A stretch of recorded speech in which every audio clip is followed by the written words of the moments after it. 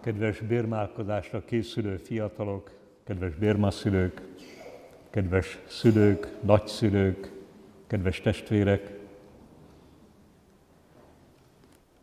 nem felelőtlenség kimondani ezt a mondatot a mise elején, hogy ti vagytok az egyház jövője, reménye. Mondhatjátok azt, hogy nem is ismer bennünket ez a püspök. Hogy mondhat ilyet? Tényleg nem ismerlek benneteket, és ez a találkozás kevés lesz ahhoz, hogy megismerjelek benneteket, viszont ismerem a Szent Lelket.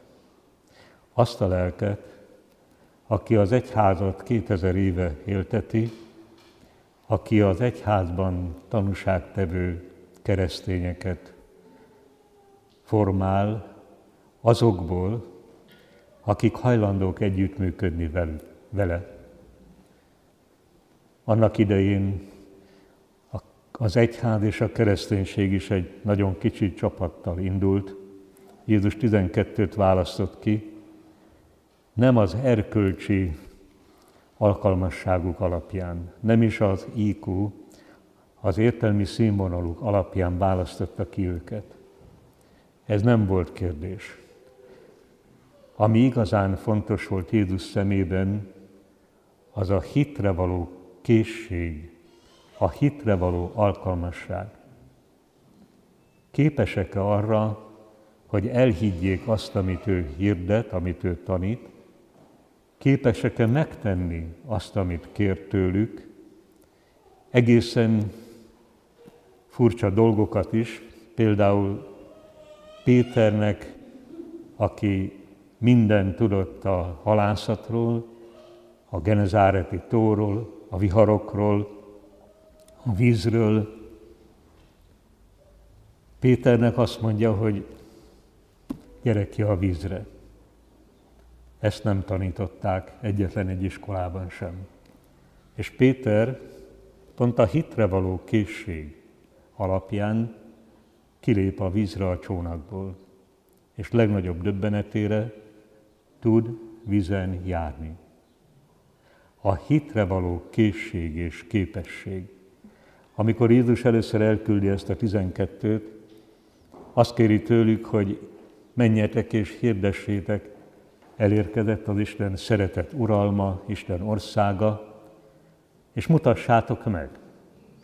És nagyon egyszerű bizonyítékot kellett odaadni az embereknek, imádkozzatok a betegek gyógyulásáért és a megszállottak szabadulásáért.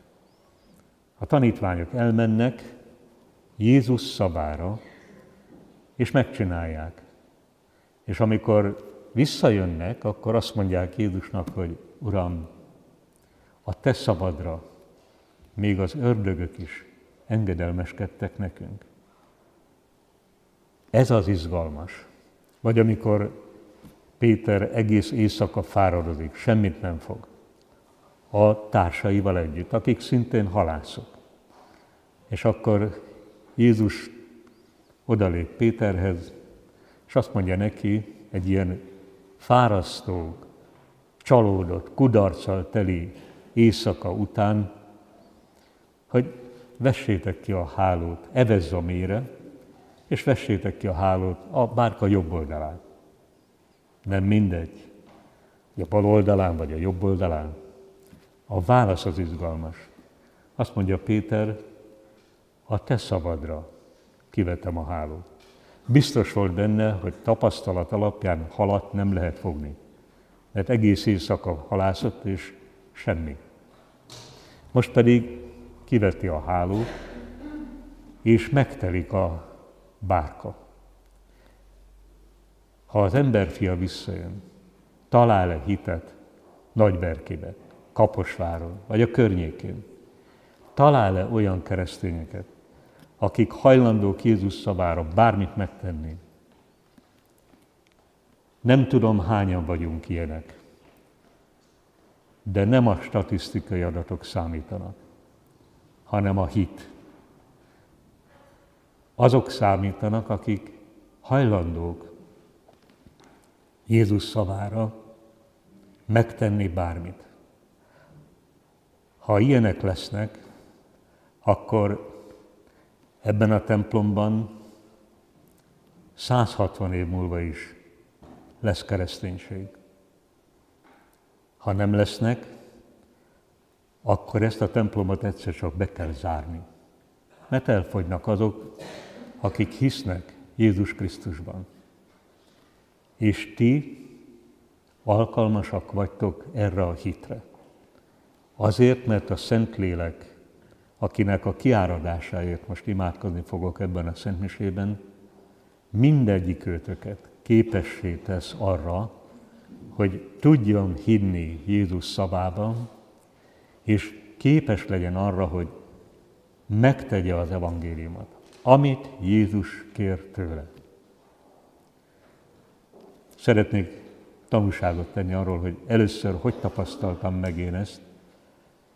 Én vallásos családban születtem, édesapám kántor volt, fiatal legénykora óta egészen a, addig, amíg még föl tudott menni a kórusra, 50 valány évig volt kántor a faluba.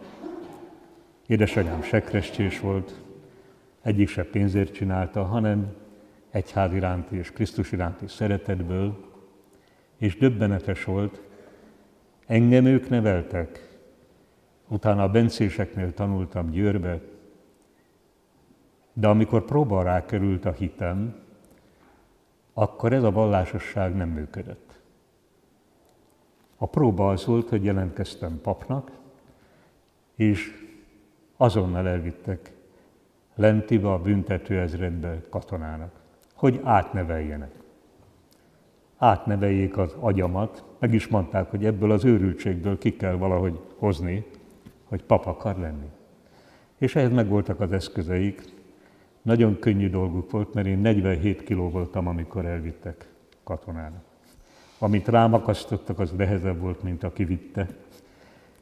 És én így kezdtem a katonai szolgálatot, rettenetes volt, nagyon gyorsan kikészítettek, mert nem volt erőm, imádkozni imádkoztam, de hát a helyzet nem változott, sőt, egyre romlott. És ekkor történt az, amiről az előbb beszéltem. Egy baptista lelkésznek készülő fiatalember is ott volt, ugyanezért, amiért én katolikus pap akartam lenni, és megkérdezte, hogy van-e szentírásod. Mondtam, hogy van. Azt kérdezte, hogy hol van. Mondtam, hogy otthon. Mondta, hogy rossz helyen van. Itt kellene, hogy legyen a Bibliád, olvasni kellene, és megtenni azt, ami abban van. Ezt biztos mondták nekem a hittanórákon, hiszen gyerekkorom óta jártam hittanra, de nem voltam olyan helyzetben, hogy ez lehessen. Nem kellett olyan helyzetben lennem kereszténynek, hogy próba alá kerüljön a hitem. Minden működött. Bencéseknél is, otthon is. Most viszont olyan helyzetben voltam, ahol úgy tűnt, hogy a vallásosságom nem működik. És ekkor odaadta a saját Bibliáját ajándékba. Én pedig azt mondtam Jézusnak, hogy elolvasom, amit mondasz, megteszem, amit kérsz, de ha nem jön be, amit mondasz és ígérsz, se pap, se keresztény nem akarok lenni. Mert ki fognak nyírni. És a következő dolog történt, Kinyitottam a hegyi beszédnél a szentírásomat, a nyolc boldogságot kezdtem el olvasni, ahol az első boldogság az, hogy boldogok a lélekben szegények, mert ővék a mennyek országa. Lukács evangéliumában ez úgy szól, hogy boldogok a szegények, mert ővék az Isten országa. A legnagyobb kincset ígéri Jézus annak, aki a szegénység boldogságát vállalja, a mennyországot és Isten országát. És akkor elkezdtem gondolkodni, hogy nekem mindenből három van, igaz, hogy kincstári, mert a katonaságnál nem a enyém volt a cucc, és úgy gondoltam, hogy a szegényeknek semmiük nincs, csak az, ami rajtuk van. Elajándékoztam a cuccomat. A katonatársaim nagyon örültek, mert pillanat alatt alkohollá változott a málhazsákom tartalma, eladták és megitták, ők nagyon boldogok voltak, és én is, de másért. Ahogy megtettem ezt, Jézus szavára, úgy, ahogy 18 évesen én akkor ezt értettem, ajándékba kaptam egy egészen új tapasztalatot. Ez pedig az volt, hogy megszűnt a szorongás és a félelem az életemben. Én mindig szorongtam és féltem, mert pici voltam, sovány, és mindig vonzottam az erőszakot. És meg is kaptam. És abban a pillanatban, amikor ezt megmertem tenni, eltűnt a szorongás és a félelem. És annyira betöltött ennek a tapasztalatnak az öröme, hogy utána én nem akartam mást, mint Krisztus szavát olvasni és megtenni. Egy lelki gyakorlat kevés lenne ahhoz, hogy elmondjam azokat a tapasztalatokat, amiket az elmúlt több évtized során emiatt kaptam Jézustól, de tudom, miről beszélek. Ha bárki közületek, nem csak a bérmálkozókról beszélek, ha bárki közületek hajlandó változtatni az életén, és hajlandó szeretetből, Jézus iránti szeretetből megtenni azt, amit ő kér, akkor meg fogja tapasztalni az ígéreteit Jézusnak. Tapasztalata lesz Isten országának a békéje és öröme, amire mindannyian vágyunk, mert mindannyian szeretnénk békében élni és örömben élni. Jézus ezt hozta el. Ha nem tapasztaljuk, az azt jelenti, hogy nem gyakoroljuk az evangélium tettekre váltását, hanem beérjük azzal, hogy gyakoroljuk a vallásunkat. Az fontos. De van több, van jobb. És erre mindannyian meghívottak vagyunk, és kiválasztottak.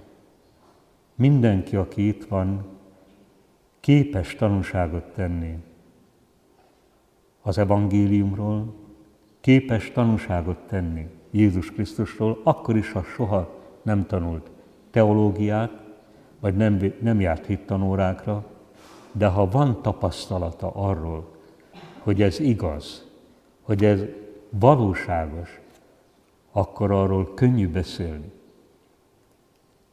Azt kívánom minden bérmálkozónak, hogy ismerkedjen meg a Szentlélekkel, akinek a kiáradásáért most imádkozni fogok, ismerkedjen meg még mélyebben Jézus Krisztussal, és akkor meg fogja ismerni a mennyei atyát is, és azt kívánom, hogy ne féljetek, legyetek bátrak, vállaljátok fel bátran, hogy ti keresztény katolikusok vagytok.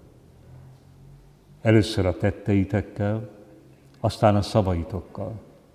Ne féljetek senkitől. Isten, aki kiválasztott benneteket, aki felken a Szentlélekkel, mindenkinél hatalmasabb, és az ő kezéből soha senki nem tud kiragadni benneteket. Se e világi hatalmak, se a gonosz lélek. Mert ő az egyetlen Úr. Legyetek bátrak a hitben, leleményesek, ügyesek a szeretetben, és segítsétek azokat, akik elveszítették a reményt, akik már nem látnak jövőt maguk előtt, akik úgy gondolják, hogy nincs értelme folytatni holnap az életet. Ti vagytok a tanuk. Azért választott ki benneteket, templomba járó keresztényeket az Isten, hogy legyen, aki továbbadja az örömhírt, legyen, aki tanúságot tesz a reményről, az igazi jövőről, és aki Isten szent lelkének segítségével szereti azokat, akik körülötte élnek. Az Atya, a Fiú és a Szentlélek nevében.